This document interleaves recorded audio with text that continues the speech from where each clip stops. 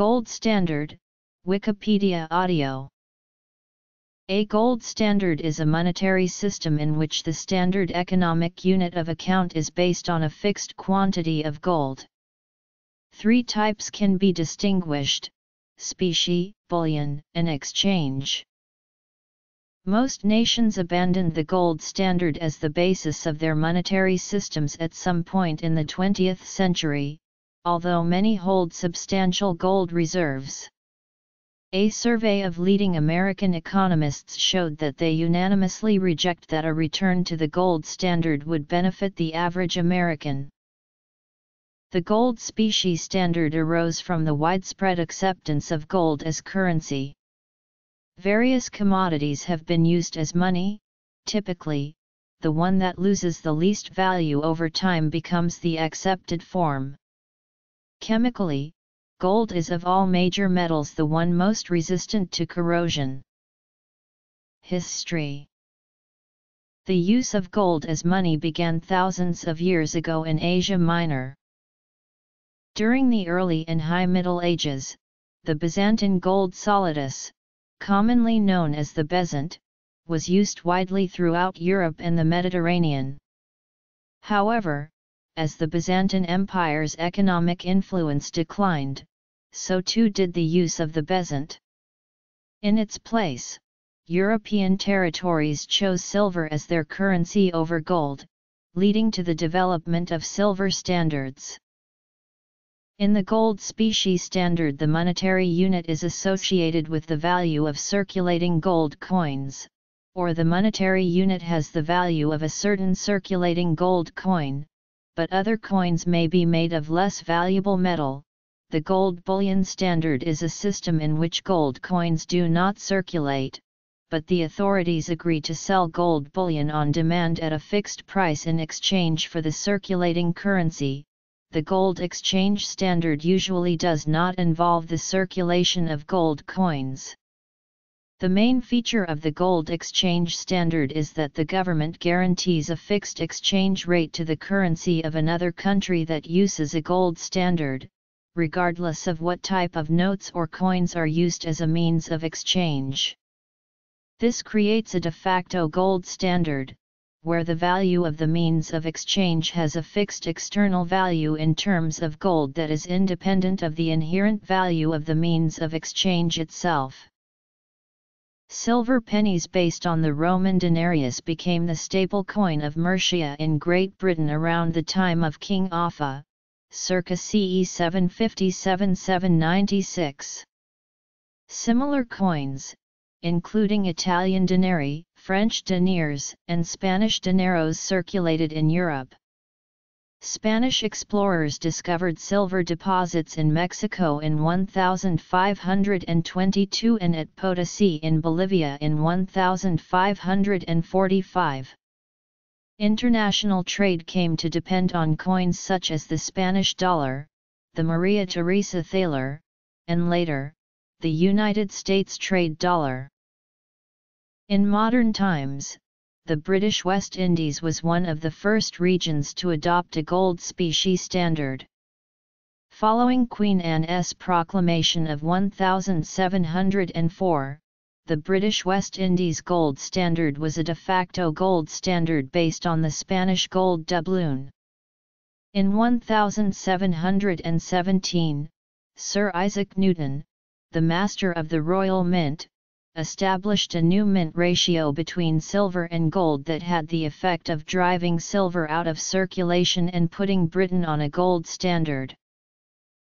A formal gold specie standard was first established in 1821, when Britain adopted it following the introduction of the gold sovereign by the new Royal Mint at Tower Hill in 1816 the United Province of Canada in 1853, Newfoundland in 1865, and the United States and Germany in 1873 adopted gold. The United States used the eagle as its unit, Germany introduced the new gold mark, while Canada adopted a dual system based on both the American gold eagle and the British gold sovereign. Australia and New Zealand adopted the British gold standard, as did the British West Indies, while Newfoundland was the only British Empire territory to introduce its own gold coin. Royal Mint branches were established in Sydney, Melbourne, and Perth for the purpose of minting gold sovereigns from Australia's rich gold deposits. The gold specie standard came to an end in the United Kingdom and the rest of the British Empire with the outbreak of World War I. Limited and predictable supply of the anchor of the monetary system, no central bank or monetary authority controls the supply, low or non-existent inflation, virtually no arbitrage costs for international transactions, governments have less control over their domestic economies, governments lose seigniorage revenues that they obtain from the ability to almost costlessly create money. From 1750 to 1870, wars within Europe as well as an ongoing trade deficit with China drained silver from the economies of Western Europe and the United States. Coins were struck in smaller and smaller numbers, and there was a proliferation of bank and stock notes used as money. In the 1790s, the United Kingdom suffered a silver shortage. It ceased to mint larger silver coins and instead issued token silver coins and overstruck foreign coins. With the end of the Napoleonic Wars, the Bank of England began the massive recoinage program that created standard gold sovereigns, circulating crowns, half crowns and eventually copper farthings in 1821 the recoinage of silver after a long drought produced a burst of coins. The United Kingdom struck nearly 40 million shillings between 1816 and 1820, 17 million half crowns and 1.3 million silver crowns. Independence from government, price declines, less spending during crisis times. Origin the 1819 Act for the Resumption of Cash Payments set 1823 as the date for resumption of convertibility, which was reached by 1821. Throughout the 1820s, small notes were issued by regional banks.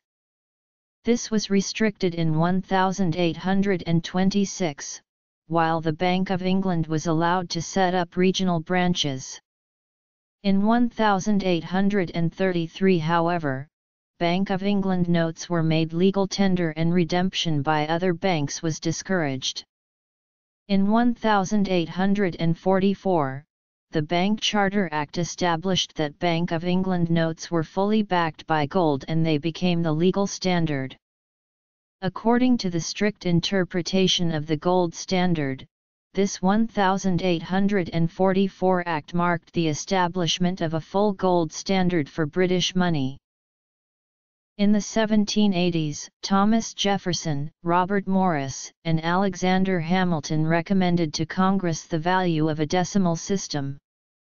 This system would also apply to monies in the United States. The question was what type of standard, gold, silver, or both. The United States adopted a silver standard based on the Spanish milled dollar in 1785.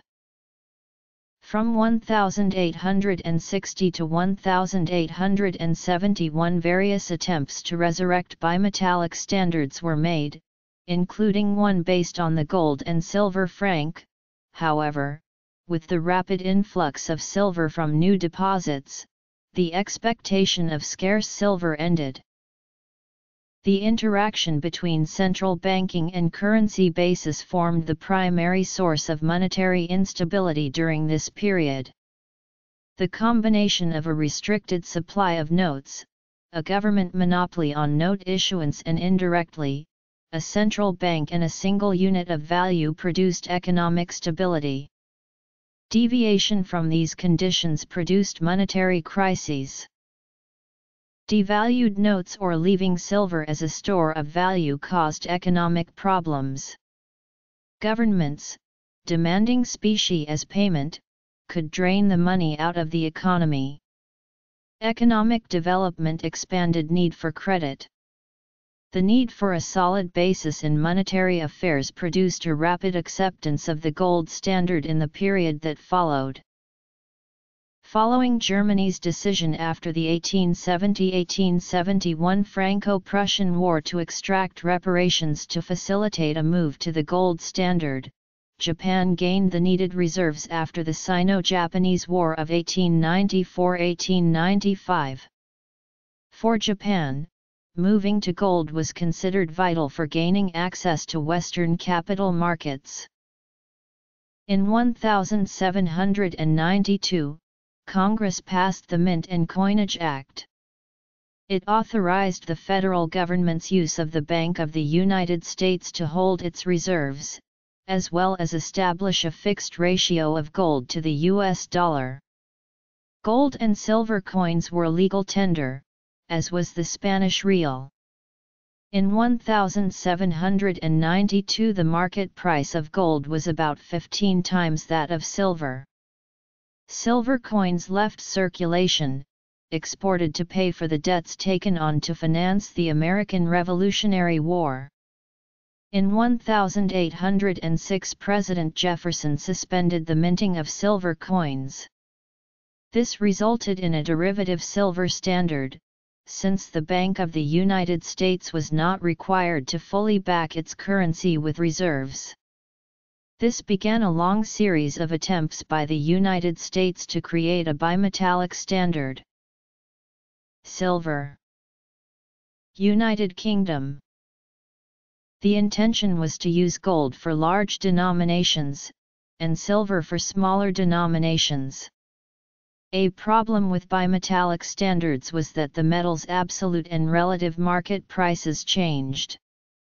The mint ratio remained fixed at 15 ounces of silver to 1 ounce of gold, whereas the market rate fluctuated from 15.5 to 1 to 16 to 1. With the Coinage Act of 1834, Congress passed an act that changed the mint ratio to approximately 16 to 1.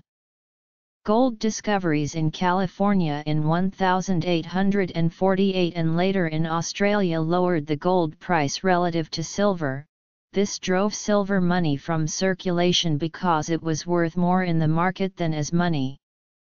Passage of the Independent Treasury Act of 1848 placed the U.S. on a strict hard money standard. Doing business with the American government required gold or silver coins.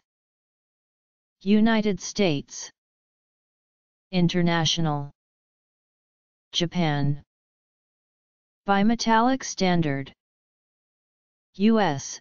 Pre-Civil War Government accounts were legally separated from the banking system. However, the mint ratio continued to overvalue gold. In 1853, the U.S. reduced the silver weight of coins to keep them in circulation and in 1857 removed legal tender status from foreign coinage. In 1857 the final crisis of the free banking era began as American banks suspended payment in silver, with ripples through the developing international financial system. Due to the inflationary finance measures undertaken to help pay for the U.S. Civil War, the government found it difficult to pay its obligations in gold or silver and suspended payments of obligations not legally specified in specie. This led banks to suspend the conversion of bank liabilities into specie. In 1862 paper money was made legal tender. It was a fiat money. These notes came to be called greenbacks. After the Civil War, Congress wanted to re-establish the metallic standard at pre-war rates. The market price of gold in greenbacks was above the pre-war fixed price requiring deflation to achieve the pre-war price. This was accomplished by growing the stock of money less rapidly than real output. By 1879 the market price matched the mint price of gold. The Coinage Act of 1873 demonetized silver. This act removed the 412.5 grain silver dollar from circulation. Subsequently silver was only used in coins worth less than $1. With the resumption of convertibility on June 30, 1879 the government again paid its debts in gold, accepted greenbacks for customs and redeemed greenbacks on demand in gold. Greenbacks were therefore perfect substitutes for gold coins. During the latter part of the 19th century the use of silver and a return to the bimetallic standard were recurrent political issues, raised especially by William Jennings Bryan, the People's Party and the Free Silver Movement. In 1900 the gold dollar was declared the standard unit of account and a gold reserve for government-issued paper notes was established. Greenbacks, silver certificates, and silver dollars continued to be legal tender, all redeemable in gold. The U.S. had a gold stock of 1.9 million ounces in 1862. Stocks rose to 2.6 million ounces in 1866, declined in 1875 to 1.6 million ounces and rose to 2.5 million ounces in 1878. Net exports did not mirror that pattern. In the decade before the Civil War net exports were roughly constant, post-war they varied erratically around pre-war levels, but fell significantly in 1877 and became negative in 1878 and 1879. The net import of gold meant that the foreign demand for American currency to purchase goods, services, and investments exceeded the corresponding American demands for foreign currencies. In the final years of the greenback period, gold production increased while gold exports decreased. The decrease in gold exports was considered by some to be a result of changing monetary conditions. The demands for gold during this period were as a speculative vehicle, and for its primary use in the foreign exchange markets financing international trade. The major effect of the increase in gold demand by the public and Treasury was to reduce exports of gold and increase the greenback price of gold relative to purchasing power. U.S. Post-Civil War Towards the end of the 19th century, some silver standard countries began to peg their silver coin units to the gold standards of the United Kingdom or the United States. In 1898, British India pegged the silver rupee to the pound sterling at a fixed rate of 1s 4d, while in 1906, the Straits settlements adopted a gold exchange standard against sterling, fixing the silver Straits dollar at 2s 4d. Around the start of the 20th century, the Philippines pegged the silver peso slash dollar to the US dollar at 50 cents. This move was assisted by the passage of the Philippines Coinage Act by the United States Congress on March 3, 1903. Around the same time Mexico and Japan pegged their currencies to the dollar. When Siam adopted a gold exchange standard in 1908, only China and Hong Kong remained on the silver standard. When adopting the gold standard, many European nations changed the name of their currency, for instance from daler or gulden to crown, since the former names were traditionally associated with silver coins and the latter with gold coins. Governments with insufficient tax revenue suspended convertibility repeatedly in the 19th century. The real test, however, came in the form of World War I, a test which it failed utterly according to economist Richard Lipsey. By the end of 1913, the classical gold standard was at its peak but World War I caused many countries to suspend or abandon it. According to Lawrence Officer the main cause of the gold standard's failure to resume its previous position after World War I was the Bank of England's precarious liquidity position and the gold exchange standard. A run on sterling caused Britain to impose exchange controls that fatally weakened the standard, convertibility was not legally suspended, but gold prices no longer played the role that they did before. In financing the war and abandoning gold, many of the belligerents suffered drastic inflations. Price levels doubled in the US and Britain, tripled in France and quadrupled in Italy. Exchange rates changed less, even though European inflations were more severe than America's. This meant that the costs of American goods decreased relative to those in Europe. Between August 1914 and spring of 1915, the dollar value of U.S. exports tripled and its trade surplus exceeded $1 billion for the first time.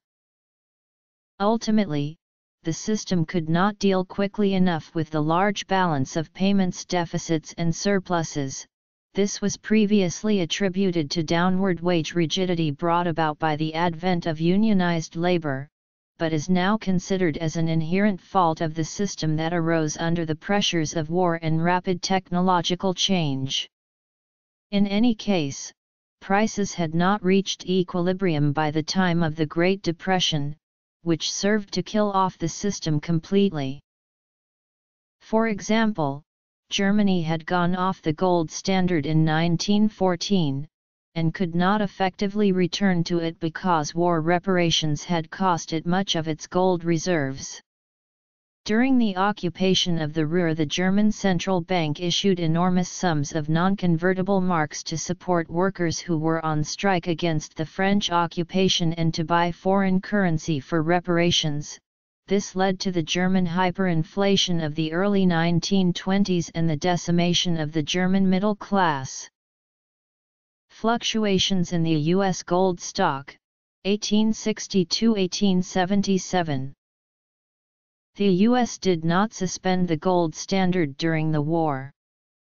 The newly created Federal Reserve intervened in currency markets and sold bonds to sterilize some of the gold imports that would have otherwise increased the stock of money. By 1927 many countries had returned to the gold standard.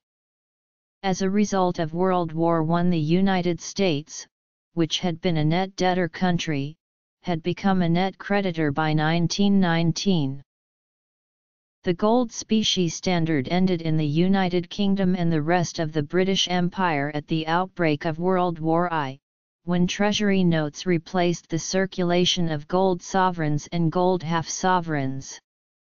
Legally, the gold specie standard was not repealed.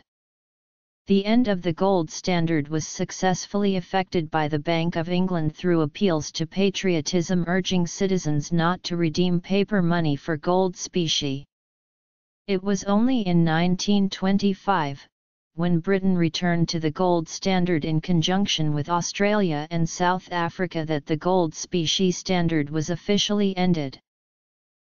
Gold Exchange Standard the British Gold Standard Act 1925 both introduced the gold bullion standard and simultaneously repealed the gold specie standard.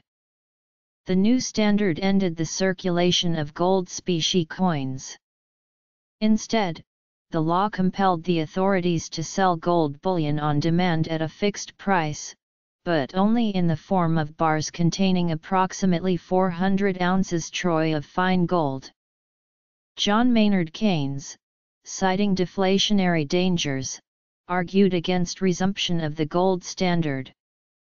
By fixing the price at the pre-war rate of $4.86, Churchill is argued to have made an error that led to depression, unemployment, and the 1926 general strike.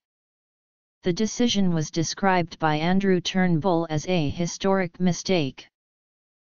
Many other countries followed Britain in returning to the gold standard, this was followed by a period of relative stability but also deflation.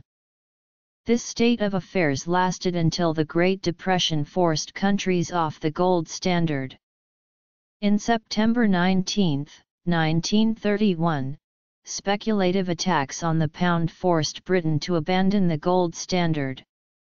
Loans from American and French central banks of £50 million were insufficient and exhausted in a matter of weeks, due to large gold outflows across the Atlantic. The British benefited from this departure. They could now use monetary policy to stimulate the economy. Australia and New Zealand had already left the standard and Canada quickly followed suit.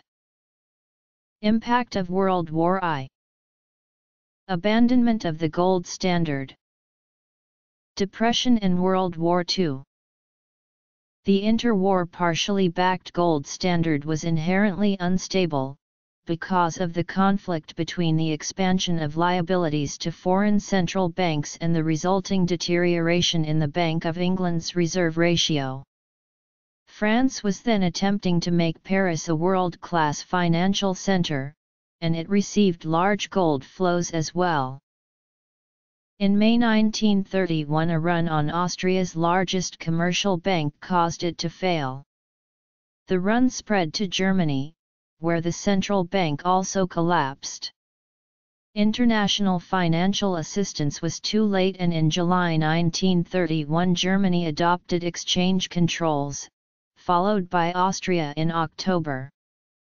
The Austrian and German experiences, as well as British budgetary and political difficulties, were among the factors that destroyed confidence in sterling, which occurred in mid-July 1931. Runs ensued and the Bank of England lost much of its reserves. Some economic historians, such as Barry Eichengreen, Green, blame the gold standard of the 1920s for prolonging the economic depression which started in 1929 and lasted for about a decade. In the United States, adherence to the gold standard prevented the Federal Reserve from expanding the money supply to stimulate the economy, fund insolvent banks and fund government deficits that could prime the pump for an expansion. Once off the gold standard, it became free to engage in such money creation. The gold standard limited the flexibility of the central bank's monetary policy by limiting their ability to expand the money supply. In the U.S., the central bank was required by the Federal Reserve Act to have gold backing 40% of its demand notes. Others including former Federal Reserve Chairman Ben Bernanke and Nobel Prize winner Milton Friedman place the blame for the severity and length of the Great Depression at the feet of the Federal Reserve, mostly due to the deliberate tightening of monetary policy even after the gold standard. They blamed the U.S. major economic contraction in 1937 on tightening of monetary policy resulting in higher cost of capital, weaker securities markets, reduced net government contribution to income, the undistributed profits tax and higher labor costs. The money supply peaked in March 1937, with the trough in May 1938. Higher interest rates intensified the deflationary pressure on the dollar and reduced investment in U.S. banks. Commercial banks converted Federal Reserve notes to gold in 1931, reducing its gold reserves and forcing a corresponding reduction in the amount of currency in circulation. This speculative attack created a panic in the U.S. banking system.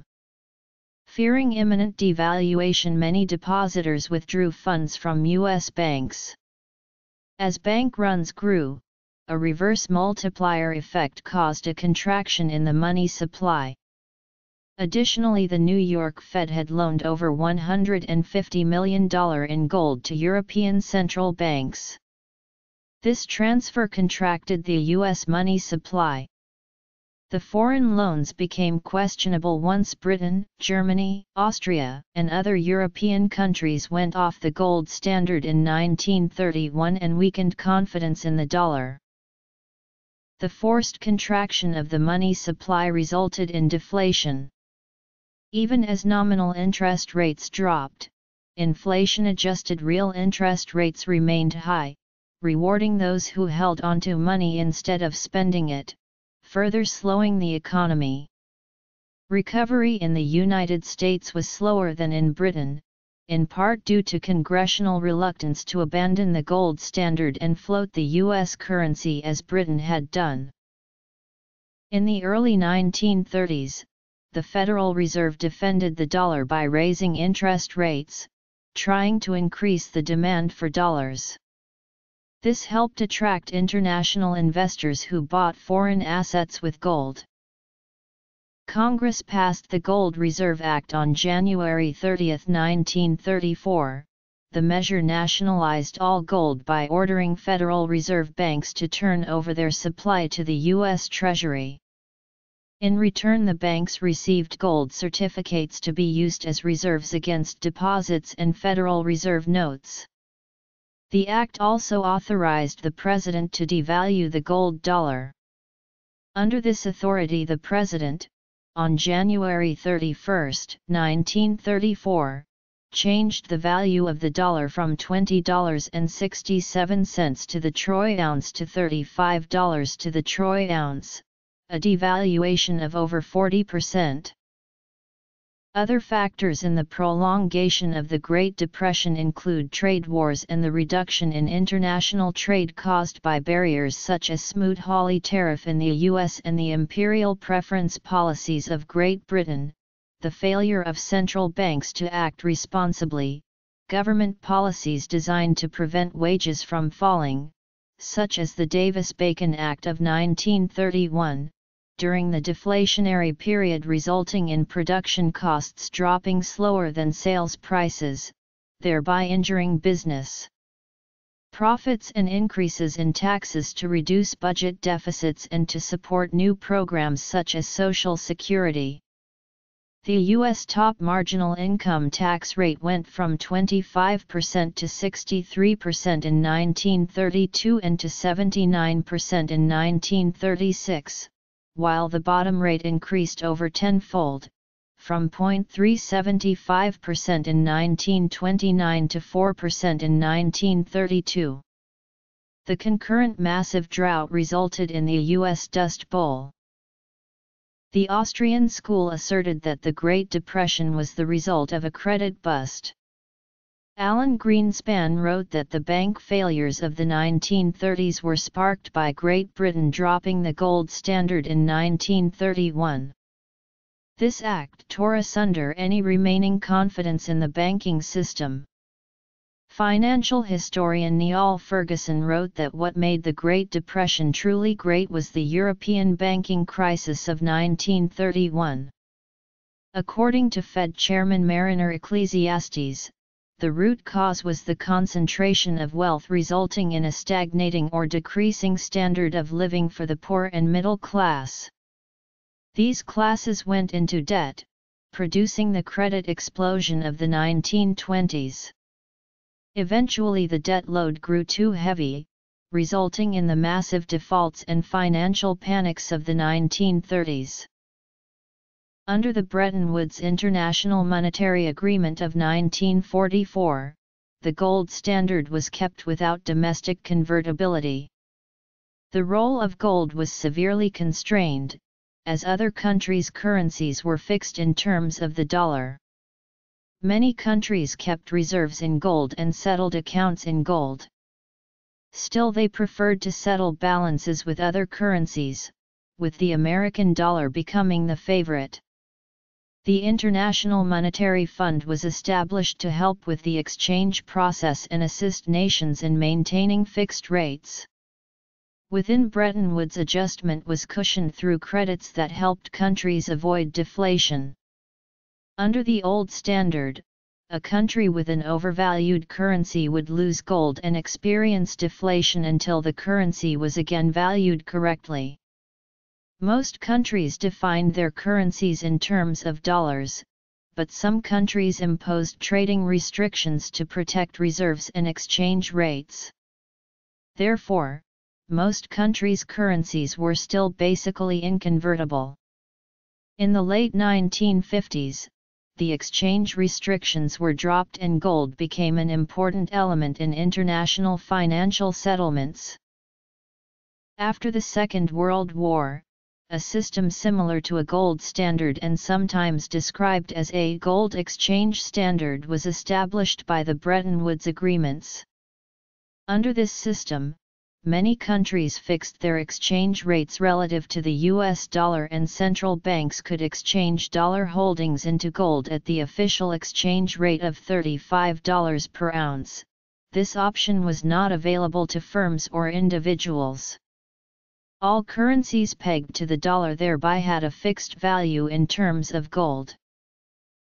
Starting in the 1959–1969 administration of President Charles de Gaulle and continuing until 1970, France reduced its dollar reserves, exchanging them for gold at the official exchange rate, reducing U.S. economic influence. This, along with the fiscal strain of federal expenditures for the Vietnam War and persistent balance of payments deficits, led U.S. President Richard Nixon to end international convertibility of the U.S. dollar to gold on August 15, 1971. This was meant to be a temporary measure, with the gold price of the dollar and the official rate of exchanges remaining constant. Revaluing currencies was the main purpose of this plan. No official revaluation or redemption occurred the dollar subsequently floated. In December 1971, the Smithsonian Agreement was reached. In this agreement, the dollar was devalued from $35 per troy ounce of gold to $38. Other countries' currencies appreciated. However, gold convertibility did not resume. In October 1973, the price was raised to $42.22. Once again, the devaluation was insufficient. Within two weeks of the second devaluation the dollar was left to float. The $42.22 PAR value was made official in September 1973, long after it had been abandoned in practice. In October 1976, the government officially changed the definition of the dollar, references to gold were removed from statutes. From this point, the international monetary system was made of pure fiat money. An estimated total of 174,100 tons of gold have been mined in human history, according to GFMS as of 2012. This is roughly equivalent to 5.6 billion troy ounces or, in terms of volume, about 9,261 cubic meters, or a cube 21 meters on a side. There are varying estimates of the total volume of gold mined. One reason for the variance is that gold has been mined for thousands of years. Another reason is that some nations are not particularly open about how much gold is being mined. In addition, it is difficult to account for the gold output in illegal mining activities. World production for 2011 was circa 2,700 tons. Since the 1950s, annual gold output growth has approximately kept pace with world population growth although it has lagged behind world economic growth, and 4x since 1980. Commodity money is inconvenient to store and transport in large amounts. Furthermore, it does not allow a government to manipulate the flow of commerce with the same ease that a fiat currency does. As such, commodity money gave way to representative money and gold and other specie were retained as its backing. Gold was a preferred form of money due to its rarity, durability, divisibility, fungibility, and ease of identification, often in conjunction with silver. Silver was typically the main circulating medium, with gold as the monetary reserve. Commodity money was anonymous, as identifying marks can be removed. Commodity money retains its value despite what may happen to the monetary authority. After the fall of South Vietnam, many refugees carried their wealth to the West in gold after the national currency became worthless. Under commodity standards currency itself has no intrinsic value, but is accepted by traders because it can be redeemed any time for the equivalent specie. A U.S. silver certificate, for example, could be redeemed for an actual piece of silver. Representative money and the gold standard protects citizens from hyperinflation and other abuses of monetary policy, as were seen in some countries during the Great Depression. Commodity money conversely led to deflation and bank runs. Countries that left the gold standard earlier than other countries recovered from the Great Depression sooner. For example, Great Britain and the Scandinavian countries, which left the gold standard in 1931, recovered much earlier than France and Belgium, which remained on gold much longer. Countries such as China, which had a silver standard, almost entirely avoided the depression. The connection between leaving the gold standard and the severity and duration of the depression was consistent for dozens of countries, including developing countries. This may explain why the experience and length of the depression differed between national economies. A full or 100% reserve gold standard exists when the monetary authority holds sufficient gold to convert all the circulating representative money into gold at the promised exchange rate. It is sometimes referred to as the gold specie standard to more easily distinguish it. Opponents of a full standard consider it difficult to implement, saying that the quantity of gold in the world is too small to sustain worldwide economic activity at or near current gold prices. Implementation would entail a many-fold increase in the price of gold. Gold standard proponents have said, once a money is established, any stock of money becomes compatible with any amount of employment and real income. While prices would necessarily adjust to the supply of gold, the process may involve considerable economic disruption, as was experienced during earlier attempts to maintain gold standards.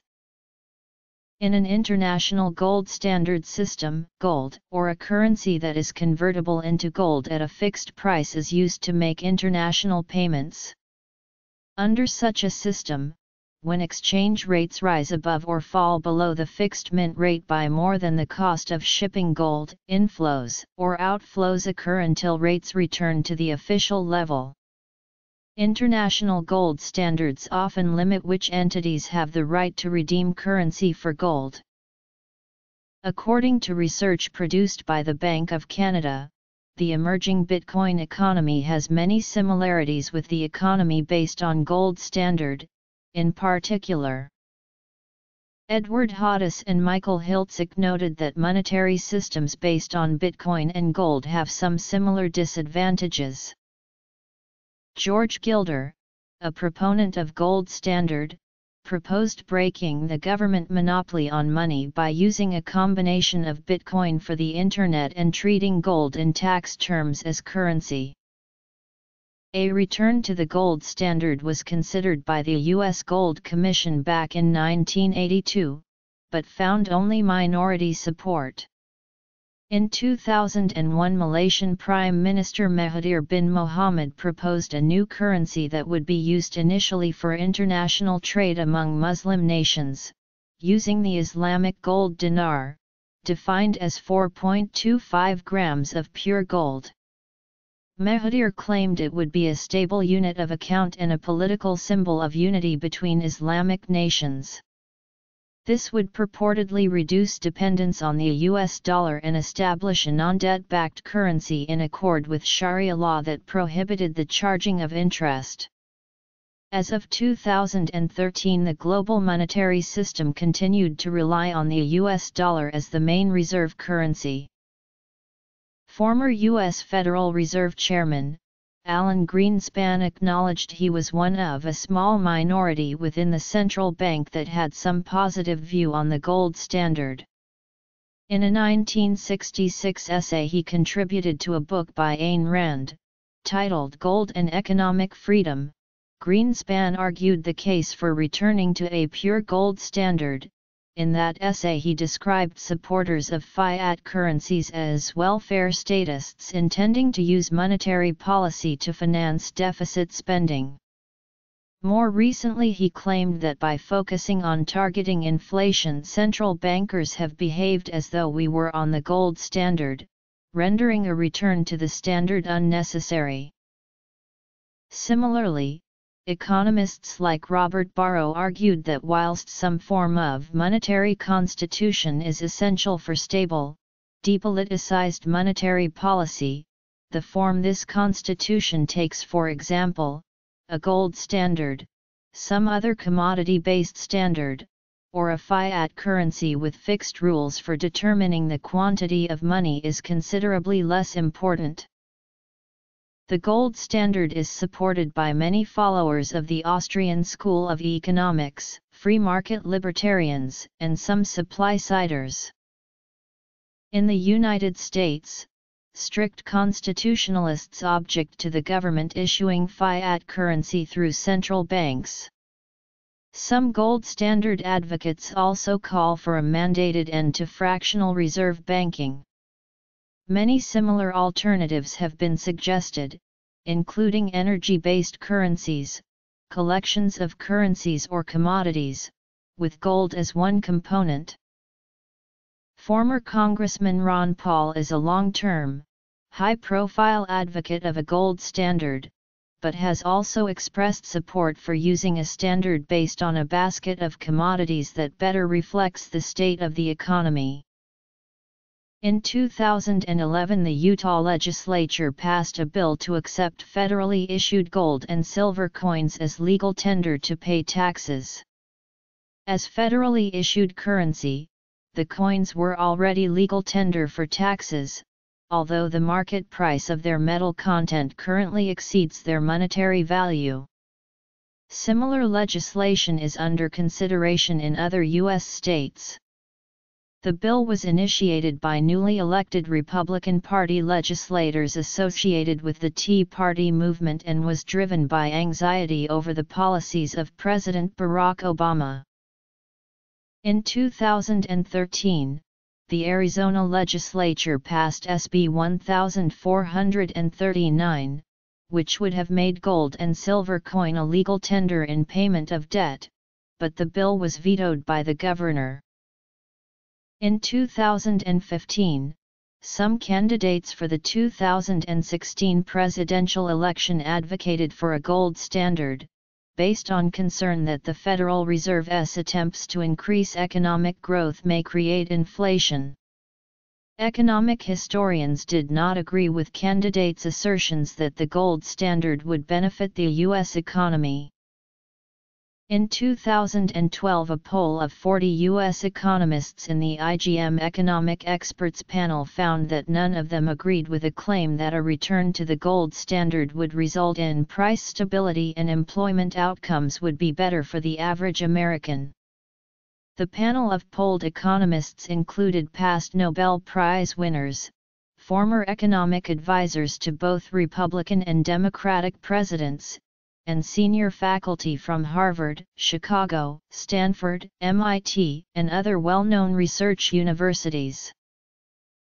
The economist Allan H. Meltzer of Carnegie Mellon University presented arguments against Ron Paul's advocacy of the gold standard since the 1970s.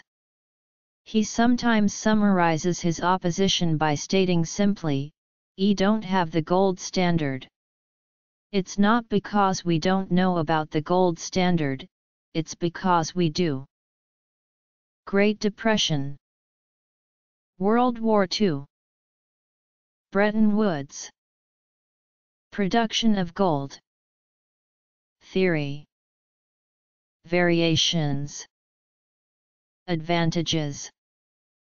Disadvantages.